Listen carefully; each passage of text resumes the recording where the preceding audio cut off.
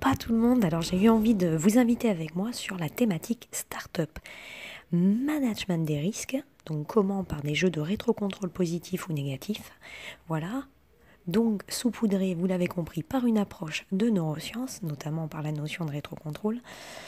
Et l'intitulé du sujet, c'est euh, un exemple, dans quel cas de figure je mets en place un exemple de rétrocontrôle négatif sur un processus de RD. Alors, selon pas, l'exemple pourrait être celui-là. Par exemple, vous êtes dans une start-up qui est très très innovante. Je dirais même tellement innovante que vous êtes disruptante. Vous levez des fonds notamment par financement participatif. Dès lors, plus vous levez de fonds, plus vous avez les responsabilités en fait d'être productif, d'avoir une bonne rentabilité. Donc, vous pourriez vous empresser de mettre sur le marché en fait bah, des produits, nouveaux produits ou des services sans intégrer la notion de bêta test. Et ça, la notion de bêta test, ben, ça nécessite de mettre en place une gestion de projet qui prend du temps. Comment on met en place une gestion de projet ben, C'est quand on développe le produit ou le service et que l'on code, ben, on a des fonctionnelles spécifications voilà, à mettre en place, des user requirements. Après, on a également des tests à réaliser, des tests qu'on va dire les FAT et les SAT. Les FAT et les SAT sont des tests qu'on réalise avant mise en production pour le FIT et en mise en production pour le SIT. C'est-à-dire qu'on procède à un contrôle pour être sûr de ne pas avoir de non-conformité. Donc pourquoi je dis que dans ce cas de figure, si c'est pas fait, je mettrai un rétrocontrôle négatif? Bah, parce que je pense qu'à terme, c'est bien d'aller vite, c'est très très bien. Sauf qu'en fait, on euh, va être confronté à de nombreuses difficultés.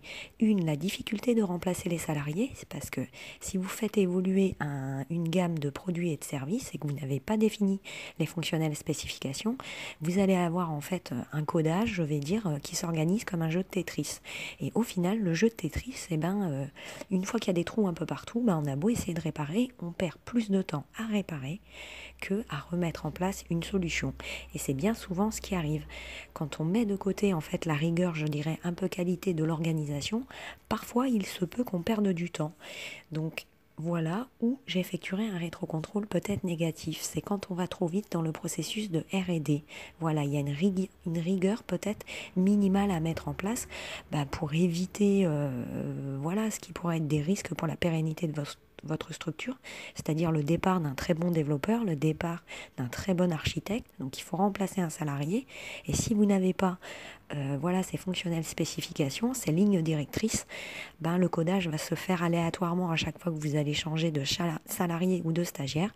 Et en définitive, voilà, il va être bien plus difficile de résoudre les problématiques, je dirais, finales. je m'excuse, avalé de travers.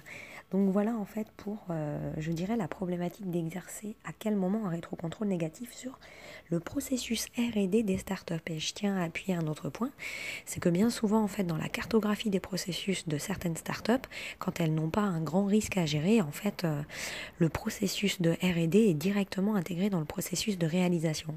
C'est-à-dire qu'on passe on ne passe pas par des phases de testing, on met directement en production.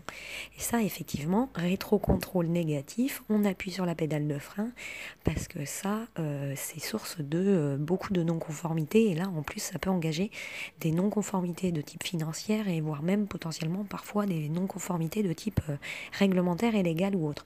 Donc là, pour moi, le rétro-contrôle négatif est important. Je freine. Pourquoi? Pour éviter toute survenue de risque majeur. Voilà. Donc je contrôle les levier pour donner la bonne direction que je veux à ma start-up. Voilà. Plutôt qu'elle soit euh, pérenne ou euh, que malheureusement euh, le château s'écroule. Voilà. Bon, allez, j'arrête. Je vous dis bonne nuit. Il est temps d'aller au lit. Allez, à bientôt. Y est pas le meilleur. Et puis, bah voilà, prenez soin de vous comme à chaque fois.